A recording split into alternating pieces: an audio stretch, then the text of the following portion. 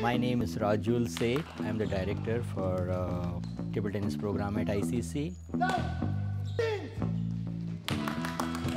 We are the largest training program in North America with over 150 kids training here regularly. Ariel and Lily started training here in 2008. They were already good at that time, but to train for Olympics or something, they require to play 20 to 25 hours a week. So we completely sponsor their training, no charge at them. And we hired a new head coach, Massimo Costantini. He's from Italy. He's one of the very few high performance coaches in the world. Uh, this is the first time that America has this level of players in history. The day US gets a medal in Olympics, uh, I think it will be one of the main sport in US. I think they are on track.